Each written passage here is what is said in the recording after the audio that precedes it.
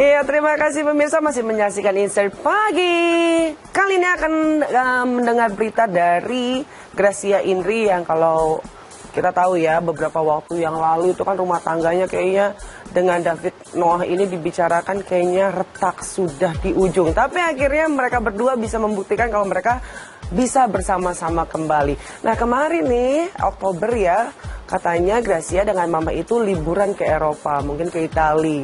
Tapi nggak ada nih sang suaminya. Jadi netizen semuanya langsung kepo ke mana suaminya.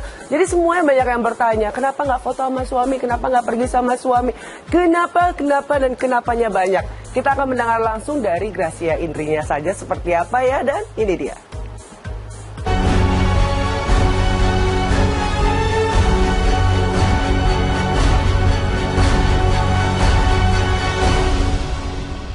Baru saja kembali ke tanah air pasca menghabiskan liburan bersama ibunda tercinta Nevo Setyaningrum, Gracia Indri justru kembali diterpa kabar miring seputar rumah tangganya. Rupanya kepergian tanpa suami tercinta David membuat publik kembali mengasumsikan bila rumah tangga Indri dan David kembali retak. Mendengar kabar ini, kakak kandung dari Gisela Cindy itu menanggapinya santai dan tak ingin ambil pusing. Bahkan Indri merasa sedikit heran mengingat rumah tangganya dalam kondisi baik dan harmonis.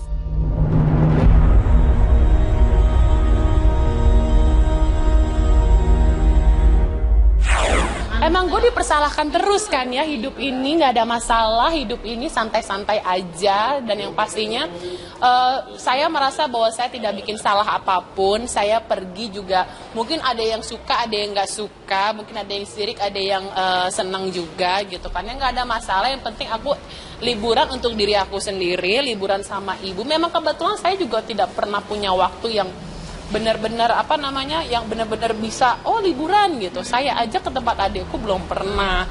Si ibu biasa orangnya kan kreatif ya kan. Dia pergilah ke mall cukup cukup cukup cukup ada travel fair murah. Hah anak gue nggak pernah liburan pergi ah gitu. Seneng deh digosipin. Orang kadang-kadang nyari gosip kita digosipin ya. Hmm Enggak sih, ya kalau misalnya udah capek jangan ada di dunia ini lagi. Nggak ada masalah, nggak pusing, udah nggak syuting lagi, udah nggak main sinetron, nggak nge-host lagi, gampang.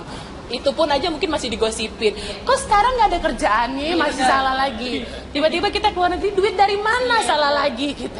Udah pokoknya sekarang mah santai aja, nggak ada yang dipusingin. Intinya apa pun yang terjadi dengan saya, apa pun yang terjadi dengan rumah tangga saya, apa pun yang terjadi dengan kehidupan saya, ya mau diumpetin kayak gimana kan pasti ketahuan. Cuma pasti kenapa mungkin kita di titik kemarin kita nggak mau ngomong dulu karena kita punya momen yang oke okay, ntar dulu ya jangan terlalu keras seperti ini gitu sampai kita punya titik yang bener-bener oke okay, sekarang kita mau ngomong dan sampai akhirnya kan di titik yang kita akhirnya ngomong juga gitu. Tapi sekarang saya sama David menanggapinya juga lebih santai. Apa pun yang terjadi ke depan kan yang tahu cuma kita berdua dan yang pasti juga kalian ujung-ujungnya tahu gitu.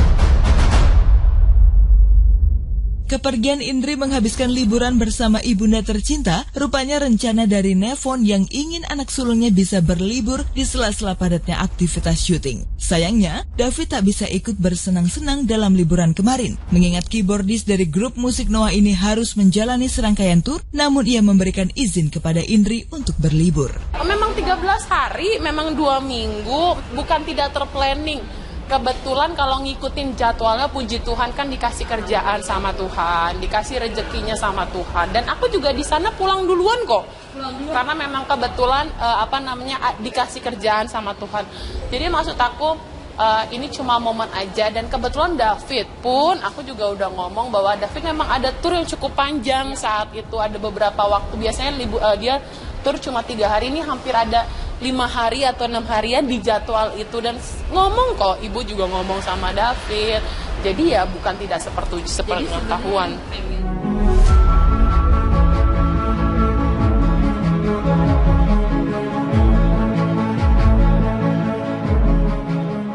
Walau jarang terlihat menghabiskan waktu bersama, Indri mengungkapkan bila dirinya sempat pergi ke Amerika bersama David. Sayangnya, kepergiannya kala itu bukan untuk menghabiskan liburan, melainkan ikut suami yang tengah ada pekerjaan. Lantas adakah keinginan Indri untuk bisa menghabiskan liburan bersama? Lalu apakah Indri dan David sudah ingin memiliki momongan? Oh ibu mau udah pernah, dia mah nggak pengen. Dia dia nggak pengen dia itu cuma mikirnya ya udah dia mumpung ada murah kenapa enggak si anak ini diajak jalan? Gitu. Biar gimana waktu pergi sama David ke Amerika kan juga uh, istilahnya waktu pergi ke Amerika itu kan cukup singkat waktunya. Uh, waktu pergi sama David itu kan dia kerja. Aku kan tidak bisa liburan. Maksudnya David sibuk dengan uh, konsernya dia pergi ke lu apa namanya luar negeri juga sibuk dengan persiapannya. Nah kita bini-bini yang ikut kan cari kesibukan sendiri gitu. Jadi mungkin nggak sampai ke tempat-tempat yang kayak gitu. Jadi maksudnya suami agak nggak suka traveling sih. Mm -mm. jadi uh, suami mungkin ya hidupnya kan biasa musik. Jadi udah terkungkung di studio yang udah capek udah segala macam enggak kayaknya. Kalau misalnya pas dia tur ke mana kita ikut mungkin beda cerita ya belum mikirin sih malah kadang nggak berasa udah mau tahun baru gitu sebenarnya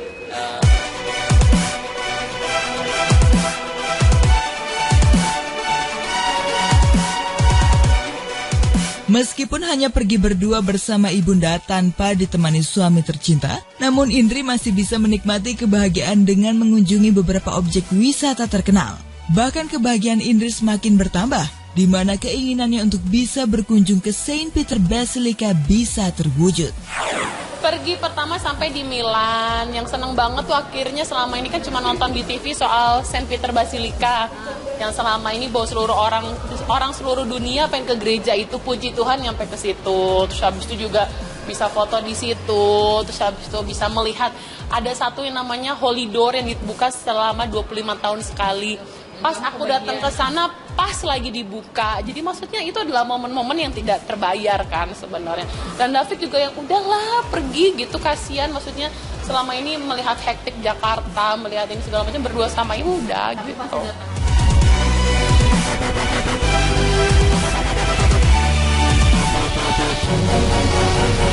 negeri juga sibuk dengan persiapannya. Nah kita bini-bini yang ikut kan cari kesibukan sendiri gitu. Jadi mungkin nggak sampai ke tempat-tempat yang kayak gitu. Jadi maksudnya suami agak nggak suka traveling sih. Mm -mm.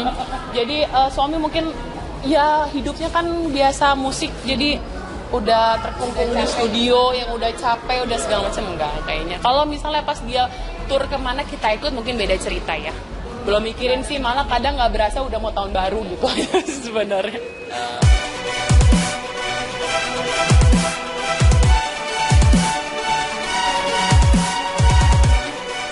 Meskipun hanya pergi berdua bersama ibunda tanpa ditemani suami tercinta, namun Indri masih bisa menikmati kebahagiaan dengan mengunjungi beberapa objek wisata terkenal. Bahkan kebahagiaan Indri semakin bertambah di mana keinginannya untuk bisa berkunjung ke Saint Peter Basilica bisa terwujud. Pergi pertama sampai di Milan, yang seneng banget tuh akhirnya selama ini kan cuma nonton di TV soal Saint Peter Basilica, yang selama ini bawa seluruh orang orang seluruh dunia pengen ke gereja itu puji Tuhan nyampe ke situ, terus habis itu juga bisa foto di situ, terus habis itu bisa melihat ada satu yang namanya Holy Door yang dibuka selama 25 tahun sekali. Pas aku datang ke sana pas lagi dibuka. Jadi maksudnya itu adalah momen-momen yang tidak terbayar kan sebenarnya. Dan David juga yang udahlah pergi gitu kasihan. Maksudnya selama ini melihat hektik Jakarta melihat ini segala macam berdua sama ibu udah gitu.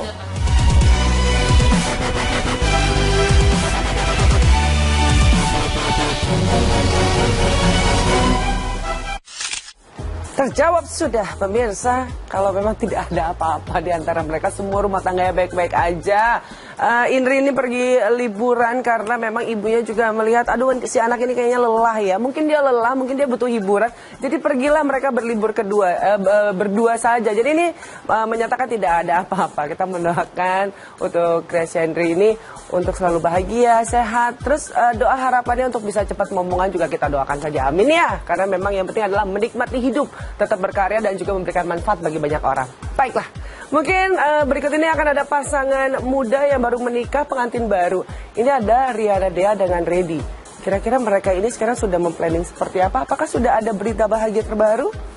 Informasi akan hadir saat lagi tetap di Insert Pagi.